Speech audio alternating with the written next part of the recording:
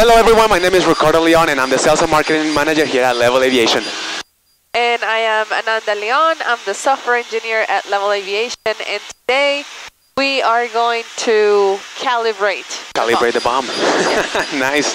We're gonna go through all the steps uh, to go to calibrate your BOM. If um, this is the first time you you're flying with a BOM, or if you are switching a BOM to another airplane, or uh, you bought a BOM from a friend.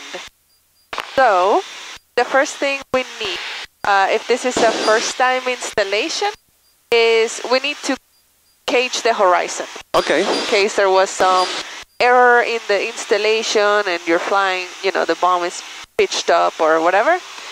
So first thing is uh, fly the airplane straight and level.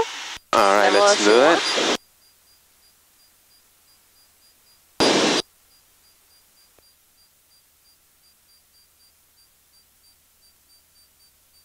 All right, so we're adjusting to our altitude right here, and I just opened my Levil Aviation app, which we already have it connected to the BOM. And we have our altimeter settings, so uh, all set up. So let's go ahead and level up right about here. All right, I'm just gonna add the traffic view here to make sure we don't have any traffic coming.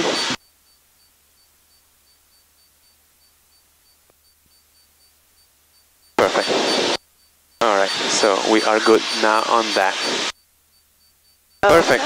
All right, so we are level up, and then I'm assuming we have to open now our um, You can do it on this screen, so let's do it here. right here settings, right? No, we have to go to Go to device device configuration. Perfect. And now you're gonna enter the password, which is essentially the serial number of your BOM.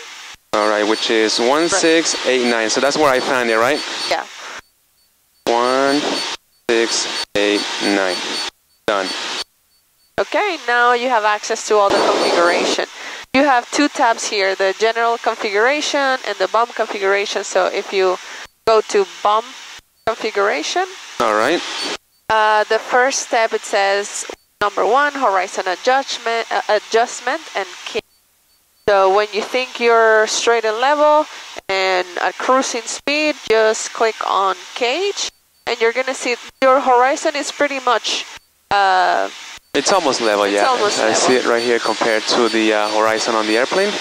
And I feel like I'm level right now, so I'm just gonna click cage, right? Yep.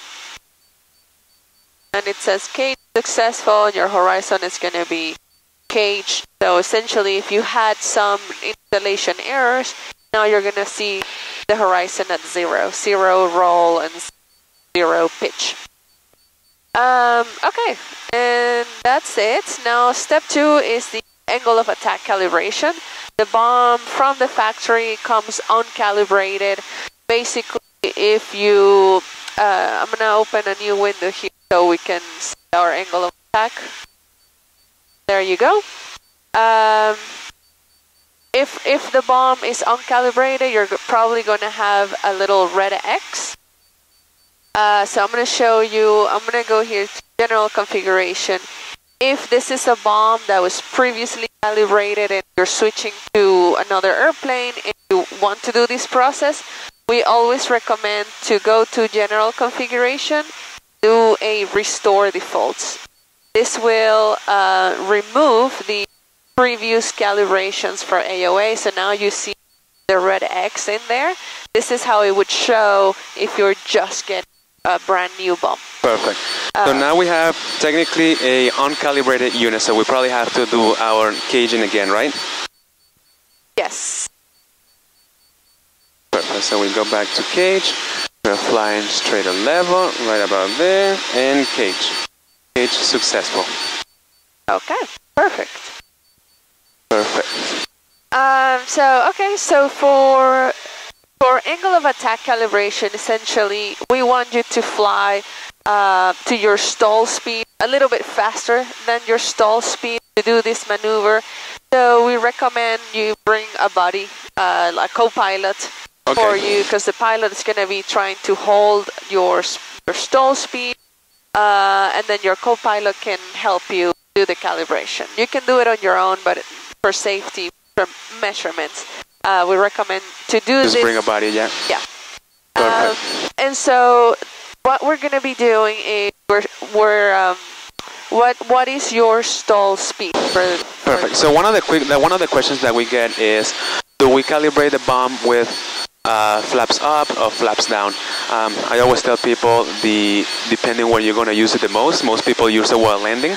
Uh, so while you're landing, you obviously obviously have flaps down since the BOM doesn't have a way to memorize uh, whether the flaps are down or not. So I'm going to calibrate the BOM with flaps down because that's when I think I'm going to uh, use the most or take the most advantage of the angle of attack indicator.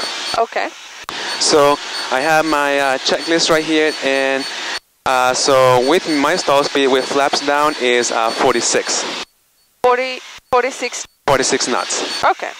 So the idea of this maneuver calibration process is that you're going to fly at 85% of your stall speed. So what you're going to do is multiply that 46 knots times 1.15 and that is 53. If you if you if you see on the uh, on our Levil Aviation app, it's going to tell you uh, angle of attack calibration. It says enter calibration point speed, which is calibration point speed your stall speed times 1.15. So we put which is So 46 times 1.15 is 53. so we're just gonna put 53. All right, and I don't hit calibrate yet, right? You don't do anything yet. So Okay. the uh, the idea is that you're gonna fly to 53 knots and hold it. Hold those 53 knots, and then you're gonna click this calibrate AOA. Okay, perfect. So si- since you have an awesome uh, co-pilot, I will click on the calibrate AOA Perfect. when you tell me I'm at 53, and we should be able to see AOA H here, and then we can uh, uh, practice some stall maneuvers and see how the AOA works. Perfect. So what I'm going to do right now is I'm going to do a quick uh, 180. I'm going to now head to the north. So we don't get into some airspaces that we have down there.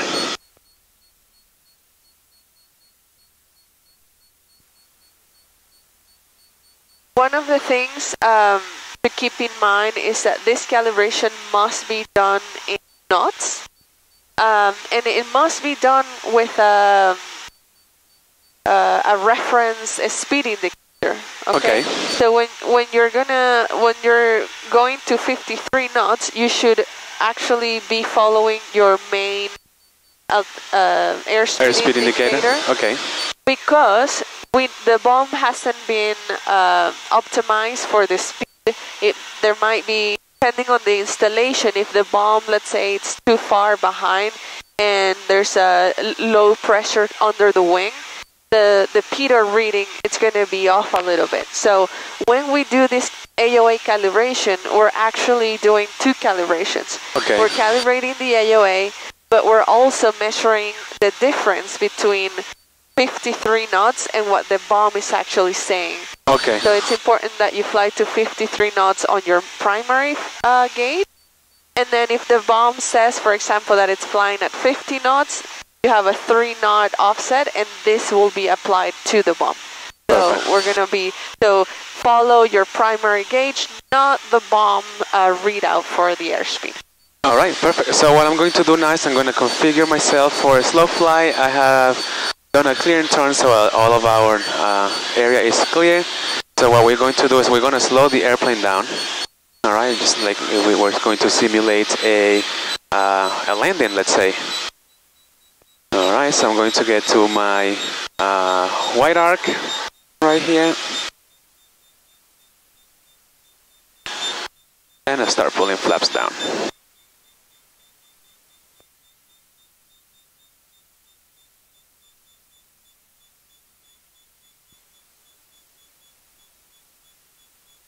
I'm going to pull up the traffic uh, view so you have that.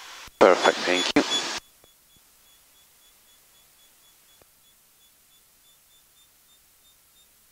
All right. Perfect. So we are reducing our speed now, and uh, we're gonna go down to 53, right? 53. All right, perfect. Slowing the airplane down. Perfect, we are at 55 now. Right, one second. All right, perfect. We are at 53 right now. Okay. So we just hit calibrate. Calibrate, AOA, so now you have a, a working AOA gauge. This this uh, 85 uh, percent line is where the red will start. Okay, So 53, you know, it should be uh. So now you can.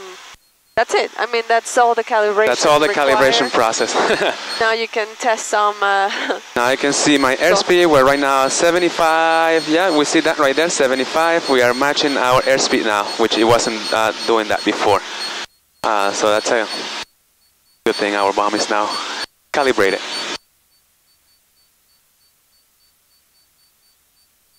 Perfect. Now, what about this optional adjustments? Let me do uh, the traffic here.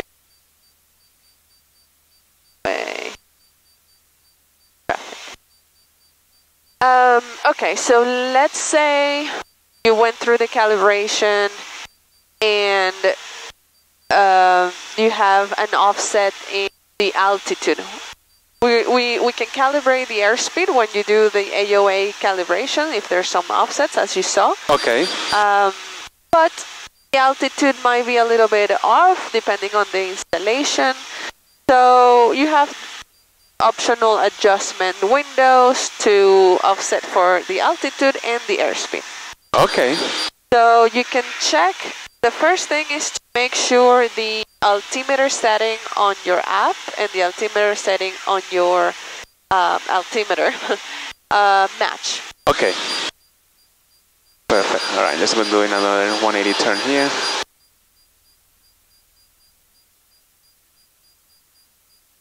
Perfect. To change the altimeter setting, you can click down here under the altimeter. Okay. And then it's 29907. Okay, so All right, I'm gonna adjust it here too, 29907. All right, so we should be at uh, 2000, almost almost 2700. and we have 2,540. So you can use plus or minus um, to match both altitude and the BOM and your primary altimeter. All right, so we're flying right now 2,700, right there. There it is. Perfect. And our airspeed is actually pretty accurate. Yeah, we are uh, flying at 90, 98, 99. Let's see what we have here, 97, yeah. Yeah, it's pretty accurate right there. Now, let me ask you something. How do I adjust my V speed? So I see that I'm almost on the red arc, but that's not, uh, that's not right. Uh, right, so uh, you adjust your V speed for this airplane if you go here on, on the menu uh, and then settings, then you can put all your V's. Okay, perfect. So let's see. So I have my VNE for this airplane is a 158. Uh, well, no, that's in miles per hour. So I'm going to put one, 182. So we're going to put right here 182. Perfect. My VNO is going to be 146. 146. All right, perfect. And let's see. This is going to be perhaps now 127.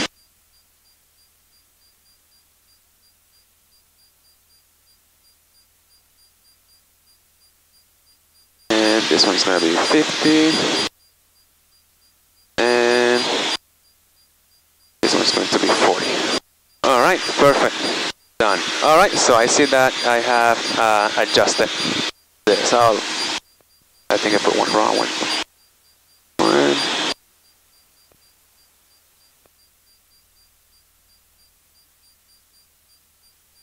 Right here it's 95. Alright, perfect. Now I have my V speeds all uh, set up.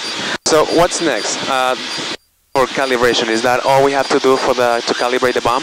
That's all. I mean, the required steps are number one, cage the horizon. Number two, uh, calibrate your AOA using a reference uh, airspeed indicator. And then you have minor adjustments, which are basically if needed. Okay. Okay, perfect. So technically, uh, if I go to my angle of attack and we do another slow fly off, we're gonna about to uh, do a, a uh, if we get close to that airspeed, then we should get an angle of attack uh, warning, right? Should we try it? Let's try it. Let's try it. All right, perfect. So we are clear here. All right, so what we're going to do again, I'm going to slow down until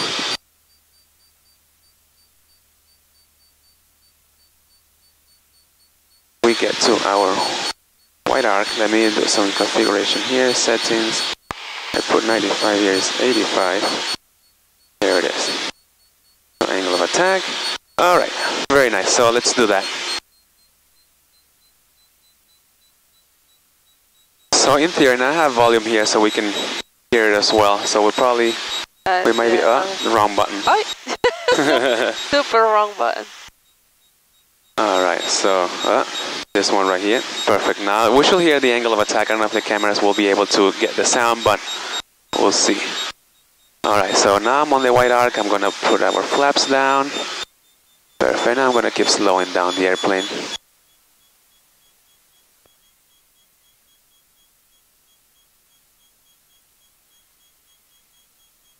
Perfect. Oh, why it's stopped? Let me keep going. The screen recording just stopped. All right, so we're slowing down. Perfect. So we're gonna do a slow fly and we're about to reach our 53 mark. There it is. There's our angle of attack. Perfect. Yeah, I see the warning. I don't know if you guys can hear on the camera, but uh, there is a uh, loud noise coming from the uh, the the iPad. Perfect. Well, looks like it's working. All right, let's go back to our speed. Speed up a little bit.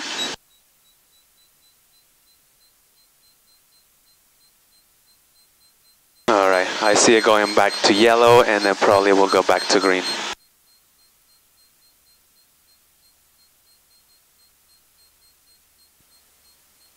All right, we're gonna gain some speed here.